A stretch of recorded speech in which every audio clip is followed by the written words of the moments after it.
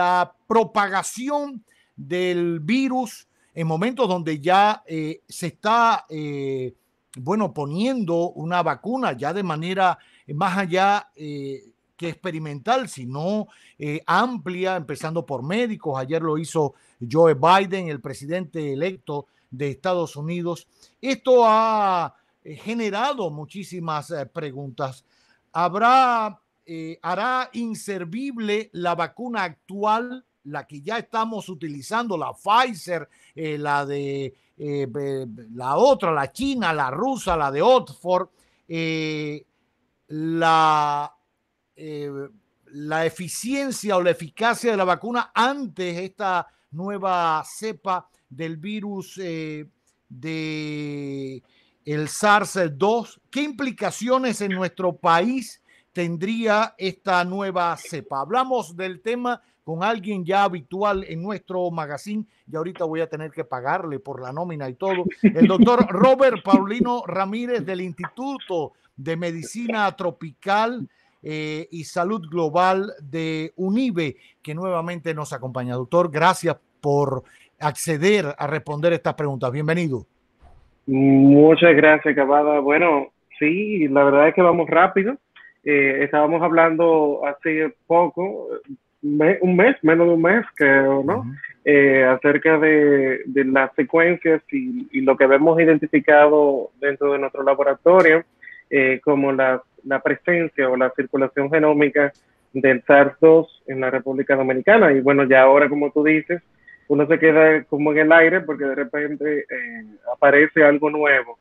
Bueno, eso es una, es una situación natural, es una situación normal de esperarse de hecho, una de las de la importancia de haber hecho estudios iniciales de cómo se comporta el virus dentro de nuestro país y irlo monitoreando a través del tiempo es la razón del por qué los, eh, por ejemplo, en el Reino Unido se puede identificar eso. ¿Qué, ¿De dónde surge eh, la identificación de una nueva variante?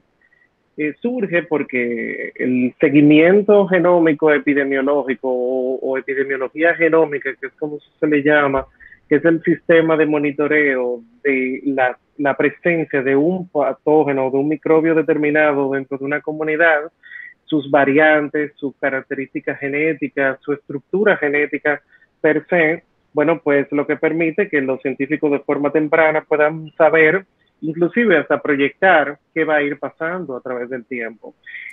Lo que aprendimos en marzo fue que lo que llegó a la República Dominicana ya tenía variaciones y ya tenía modificaciones en su estructura genética.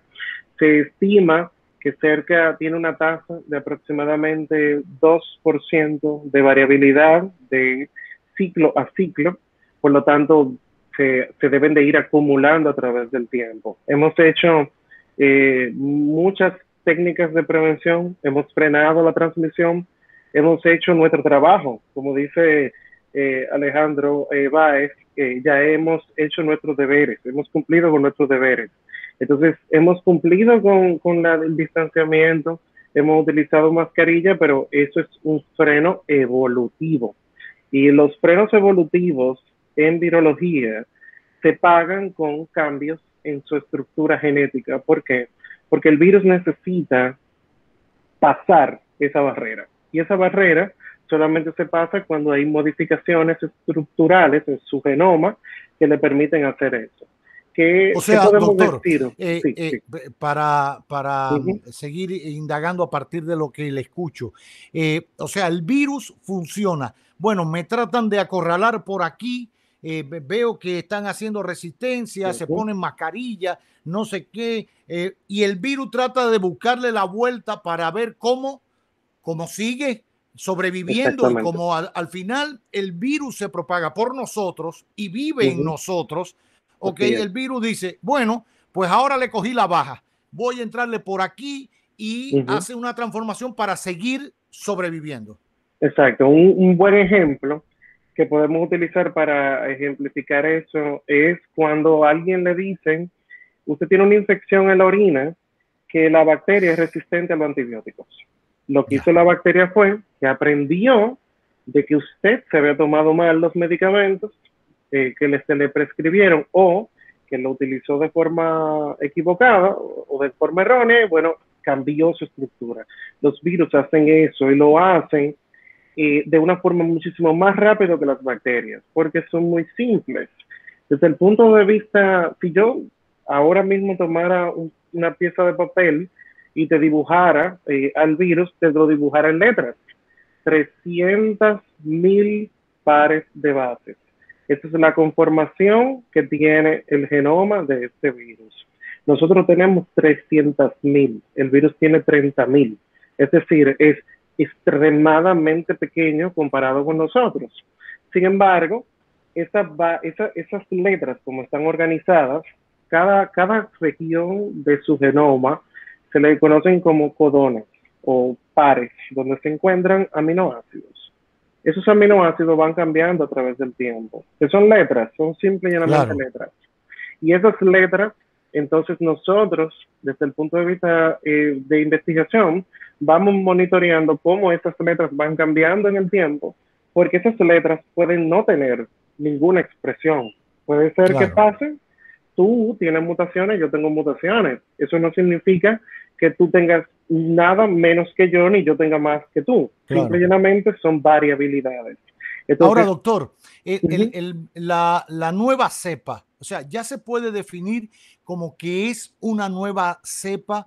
¿Qué evidencias hay eh, que la diferencian de la que conocimos? Que como usted dice, nos dijo desde la primera vez que conversamos, ya el que llegó a la República Dominicana tenía cierta variación del original que habían conocido en, en Wuhan, en el que llegó Italia, etcétera. O sea, había como un 2% o algo. El, ¿Qué diferencias visibles quizás pueda haber o no tan visibles, quizás a nivel de laboratorio, de genoma, eh, etcétera, tiene la nueva cepa versus la que se propagó por el mundo? Mira, lo primero es que utilizamos siempre la palabra cepa y no es lo mismo que linajes. Los linajes son variantes que tienen alguna estructura de la que se pone en contacto con nosotros. Es decir, si yo tengo un cambio dentro de la estructura que se pega hacia las células mías, entonces es un cambio de linaje. En China se identificaron cinco linajes. A, A1, 2, A3 y el B. Sin embargo, cuando empezaron las migraciones y se introdujo hacia Europa, se pudo identificar un nuevo linaje que era B1. Justamente el B1 fue el que produjo el efecto fundador de República Dominicana. Es decir, fue la primera de las B que salieron de Europa que llegó a República Dominicana. ¿Qué es lo que estamos viendo ahora? que a su vez esa B1, eh, como usted dice, que llegó hasta acá, fue una variable de la A del inicio. Exactamente, exactamente. Entonces, ¿qué, hemos, qué, qué sabemos del nuevo linaje? Es que el linaje se deriva de la B1, pero es una modificación que cambia las estructuras de las espigas. Es decir, la estructura de afuera, lo que se pega a las células de, nuestra, de, de nuestras células, perdón. Entonces, ¿Qué, es lo que produce eso? Que el, sistema inmunológico va a tener una interacción diferente, igual, o tal vez pase desapercibida. Son tres fenómenos que pueden ocurrir cuando hay variantes de los linajes en una población determinada.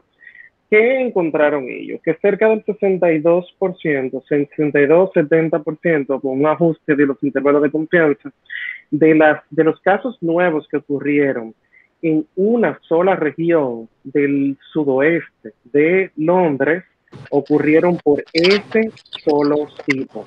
¿Y qué pasa con eso? Que como ocurrió solamente con ese tipo, activó las alertas. Es como, bueno, a ver, es que, es que entonces este tiene más facilidad tal vez para poderse transmitir es que tal vez tiene más afinidad por las células para multiplicarse.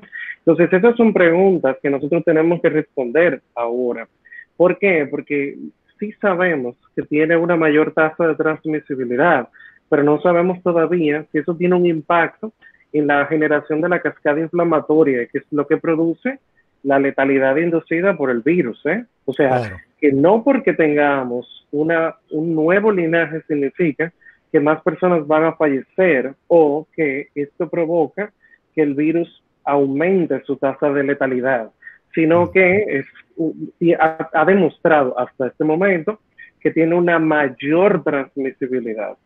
O sea, eh, ya sabemos que el que ha llegado a nuestro país, eh, bueno, se transmite por la saliva, por eso debemos eh, usar mascarilla, por si tocamos y, nos restregamos los, los, ojos con los dedos y la mucosa y por ahí entra.